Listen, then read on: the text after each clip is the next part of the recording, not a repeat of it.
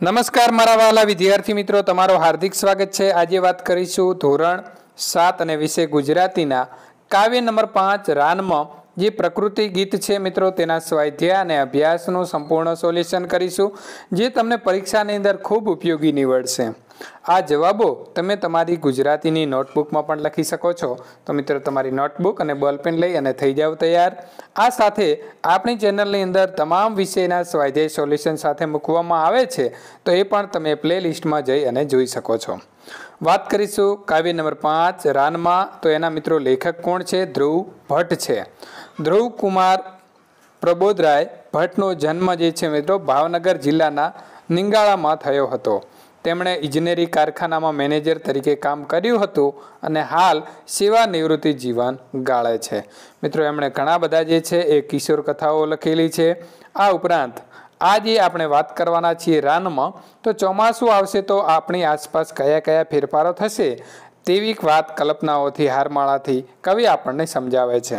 ચોમાસાનો પ્રસાર રાનમાં મેદાનમાં, પછી મકાનમાં અને પાનમાં થતા આપણા અંતર્મન સુધી લઈ જાય છે. હવે આપણે વાત કરીશું અભ્યાસ. પ્રશ્ન નંબર એક, મિત્રો, અહીંથી તમારે લખવાની શરૂઆત કરવાની છે. નીચેના પ્રશ્નોના ઉત્તર માટે આપેલા વિકલ્પમાંથી સાચો ઉત્તર શોધીને તેનો ક્રમ અક્ષર પ્રશ્નની સામે આપેલા ખાનામાં લખો. તો પહેલો પ્રશ્ન છે, આકાશ હવે ઉતરશે. એ શબ્દનો અર્થ એ છે કે, તો મિત્રો, શું આવશે? તો સાચો જવાબ આવશે ખ, વરસાદ વરસશે. તો આપણે ખાનું જે છે, એની અંદર ખ લખીશું. બીજું છે, વાછટની સી અસર થશે. તો એની અંદર સાચો જવાબ આવશે, ઘ વસ્તુઓ પીંજાશે. તો મિત્રો, વાછટ એટલે ઘરની અંદર જે વરસાદ વરસતો હોય છે, ત્યારે છાંટા ઉડીને આવે છે તે. ત્યારબાદ નંબર ત્રણ, વરસાદ સાથે અત્યંત નજીકનો સંબંધ કોને છે? તો ખ આવશે, મોરને. તો આપણે અહીં લખીશું ખ. કારણ કે મોર જે છે, એ વરસાદ જ્યારે આવે છે, સરસ મજાના ટહુકા કરે છે. પ્રશ્ન નંબર ચાર લીલાશ કોના આવવાથી મેદાનમાં આવશે. તો મિત્રો, એની અંદર સાચો જવાબ જે છે એ ક આવશે, વરસાદના અને ઘ છે એ પણ વરસાદના. તો બંનેમાંથી તમે જે પણ લખો એ બંને સાચા છે. ત્યારબાદ આગળ વાત કરીશું. પ્રશ્ન નંબર બે, નીચેના પ્રશ્નોના ઉત્તર એક એક વાક્યમાં આપો. પહેલું છે લીલાશ ક્યાં સૂતેલી છે? તો લીલાશ વાડ પર સૂતેલી છે. બીજો પ્રશ્ન છે, ધોધમાર વરસાદમાં આપણી સાથે કોણ કોણ રહેશે? તો ધોધમાર વરસાદમાં આપણી સાથે વાદળ, ઝરણા, ઘાસ, ડુંગર તેમજ આખું ગામ રહેશે. ત્યારબાદ આગળ વાત કરીશું પ્રશ્ન નંબર ત્રણ. વરસતા વરસાદમાં કોને ઝાડ તળે ગહેકવાનું મન થાય છે? તો વરસતા વરસાદમાં સૌ કોઈને ઝાડ તળે ગહેકવાનું માન થાય છે. પ્રશ્ન નંબર ચાર, રાનમાં કાવ્યના કવિનું નામ શું છે? તો મિત્રો, રાનમાં કાવ્યના કવિનું નામ ધ્રુવ ભટ્ટ છે. તમારે બધા જ પાઠના મિત્રો લેખક અને કાવ્યના જે કવિઓ છે, એ બધાના નામ તૈયાર કરી દેવાના. મિત્રો, આપણે બધા જ સ્વાધ્યાય સોલ્યુશન પહેલાં એમના જે નામ છે એ જાણતા હોઈએ છીએ. હવે વાત કરીશું સ્વાધ્યાયના પ્રશ્નોત્તરી. મિત્રો, પ્રશ્ન નંબર એક, નીચેના પ્રશ્નોના ઉત્તર વિચારીને લખો. પહેલો પ્રશ્ન છે, વરસાદમાં પીંજાવાનો અનુભવ તમારા શબ્દોમાં લખો. વરસાદમાં ઘરમાં પુરાઈ રહેવું કોને ગમે? અમે સૌ બાળકો. ઘર બહાર દોડી જઈએ. વરસાદની જોરદાર ધારાઓ ઝીલવાનો આનંદ લઈએ. અમને પાણીમાં છબછબિયા કરવાની મજા પડે છે.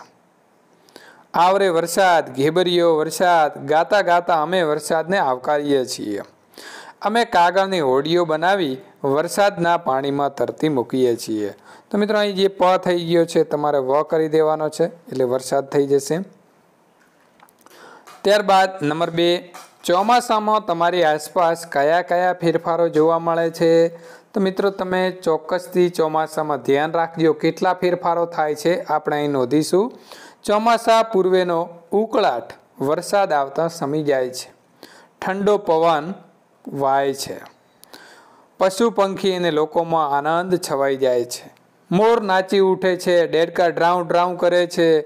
માટીની સુગંધ ચારે બાજુ ફેલાઈ જાય છે. ખેડૂતો હળ અને બળદ લઈને ખેતરે જાય છે. નદી, નાળા કૂવા સરોવર અને તળાવમાં નવા પાણી આવે છે. તો આટલા બધો જે છે મિત્રો ફેરફાર થાય છે. હજી વધુ જો ફેરફાર તમને જોવા મળ્યા હોય તો એ પણ તમે નોંધી શકો છો. નંબર ત્રણ, મોટે ભાગે ચોમાસામાં કયા કયા પક્ષી અને પ્રાણીઓના અવાજ સાંભળવા મળે છે? તો મોટે ભાગે ચોમાસામાં મોર ટહુકા કરે છે, ડેડકા ડ્રાઉન ડ્રાઉન કરે છે અને તમરાનો તીણો અવાજ સંભળાય છે. નંબર ચાર તમારા ગામમાં વરસાદ પડ્યો છે અને તમારા મિત્રના ગામમાં વરસાદ પડ્યો નથી. તો તમારા મિત્રને ફોન કરી બંને વચ્ચે કેવા સંવાદો થાય છે તે લખો. તો મિત્રો જવાબ લખીશું કે અહીં આપણને મહેશ અને નરેશ નામના બે મિત્રો ફોન ઉપર વાત કરે છે. નરેશ પહેલો બોલે છે, મહેશ કેમ છે? તારા તરફથી હમણાં કશા સમાચાર નથી?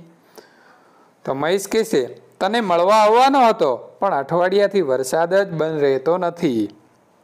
નરેશ બોલશે, હા, છાપામાં વાંચ્યું હતું કે તારા ગામ બાજુ વરસાદ બહુ છે. મહેશ કહે છે, ખરેખર અહીં વધારે વરસાદ છે? ઘણું નુકસાન થયું છે? ત્રણ ચાર જૂના મકાનો પડી ગયા છે. પેલી ધરમદાસની જૂની હવેલી પણ પડી ગઈ છે. તો નરેશ કહે છે, ગામના તળાવમાં નવું પાણી આવ્યું હશે? મહેશ, હવે તો તળાવ છલકવાની તૈયારીમાં છે. આખું તળાવ ભરાઈ ગયું છે. એટલો વરસાદ આવ્યો છે મિત્રો. તો નરેશ કહે છે, અમારે ત્યાં તો છાંટોય વરસાદ નથી. ઉકળાટ તો એટલો બધો છે કે પશુ, પંખીઓ અને માણસો ત્રાહીમામ પોકારી રહ્યા છે. તો મહેશ કહે છે, ઉકળાટ છે એટલે વરસાદ તો આવશે જ. હવામાન ખાતાના સમાચાર હતા કે તમારી બાજુ પણ અઠવાડિયામાં વરસાદ પડવાની શક્યતા છે. તો મિત્રો, જ્યારે આપણે વરસાદ આવવાનો હોય છે, એ પૂર્વે હવામાન ખાતું જે છે, એ આગાહી આપતા હોય છે. નરેશ કહે છે, વરસાદ રહી જાય પછી આપણે મળીએ. અને મિત્રો, અહીં ફોન મૂકી દે છે. એટલે કે બંનેનો જે વાર્તાલાપ છે, એ પૂર્ણ થાય છે. પ્રશ્ન નંબર બે, નીચેના શબ્દોના સમાનાર્થી શબ્દો લખો. પહેલો મિત્રો છે, રાન. તો રાન એટલે જંગલ, અરણ્ય. બીજું છે, વાદળ. તો મેઘ. જળધર. ત્રીજું છે પાન, તો પર્ણ, પાંદડું. ચોથું છે સંદેશો, તો ખબર અથવા સમાચાર. પાંચમું છે ડુંગર, તો પર્વત અથવા પહાડ. છઠ્ઠું છે આકાશ, તો નભ અથવા આભ. ત્યારબાદ પ્રશ્ન નંબર ત્રણ સૂચવ્યા મુજબ કરો. નીચેના જેવો ભાવ દર્શાવવા કવિએ કઈ પંક્તિઓ વાપરી છે તે આ કાવ્યમાંથી શોધીને લખો. તો પહેલું છે વાડ પરની લીલાશ હવે મેદાનમાં આવશે. તેમણે મિત્રો, જે કાવ્ય પંક્તિ લખી છે, આપણે લખીશું. વાડ પર સૂતેલી સગળે લીલાશ હવે નીતરતી થશે મેદાનમાં. ત્યારબાદ બીજું છે, પલળેલો પવન આપણને ચોમાસું બેસવાનો સંદેશો આપશે. તો પીંજાતા વાયરાઓ વહેશે, સંદેશા કે ચોમાસું ધાર ધાર બેઠું.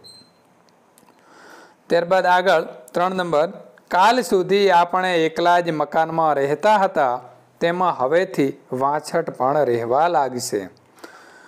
કાલ સુધી રહેતા હતા આપણે ને કાલથી તો વાછટો રહેશે મકાનમાં. ત્યારબાદ આગળ વાત કરીશું, નંબર બે, આ કાવ્યમાં આવતા વાદળ શબ્દમાંથી નીચેના જેવા શબ્દો બને છે. વા, વાદ, વાળ દળ અને દેવા. તો આવી રીતે મિત્રો આપણે વાત કરીશું. આવો બીજો શબ્દ છે મકાન. આ શબ્દ પરથી બનતા શબ્દો લખો અને તે દરેક શબ્દને કક્કાવારીના ક્રમમાં ગોઠવો. તો આપણે જોયું, કાન, કાનમ, કામ, નમ અને મન એ મકાન ઉપરથી બનતા શબ્દો છે. એને આપણે કક્કાવારીના ક્રમમાં ગોઠવીએ તો પેલું કાન, પછી કાનમ, પછી કામ, પછી નમ. અને છેલ્લે જે છે, એ મિત્રો મન આવે છે. ત્યારબાદ આગળ વાત કરીશું. આ શબ્દો પરથી વાક્ય બનાવો. તો પેલું છે, મગન કાનનો કાચો છે. બીજું, કાનમ મગનનો દીકરો છે. ત્રીજું, કાનમ મગનનો પડતો બોલ ઝીલીને કામ કરે છે. ચોથું, મગન કહે, બેટા, નમે તે સૌને ગમે. નંબર પાંચ કાનમને મન આ શીખ એના બાપે આપેલી સાચી સંપત્તિ છે. પ્રશ્ન નંબર ચાર, આ કાવ્યનો મુખપાઠ કરો. તો વિદ્યાર્થીઓ કાવ્યનો મુખપાઠ કરશે. મિત્રો, અહીં આપણું કાવ્યનું સંપૂર્ણ સોલ્યુશન પૂર્ણ થાય છે. આના પછીના પાઠનું સ્વાધ્યાય સોલ્યુશન જોવા માટે અહીં ક્લિક કરો. મિત્રો, આ ઉપરાંત સામાજિક વિજ્ઞાન વિજ્ઞાન, ગણિત સંસ્કૃત કોઈ પણ વિષયના સ્વાધ્યાય સોલ્યુશન જોવા માટે અહીં જે આપેલી એન્ડ સ્ક્રીન છે, એના ઉપર ક્લિક કરીને નિહાળી શકો છો. વીડિયો પસંદ આવ્યો હોય તો લાઈક કરવાનું ભૂલતા નહીં.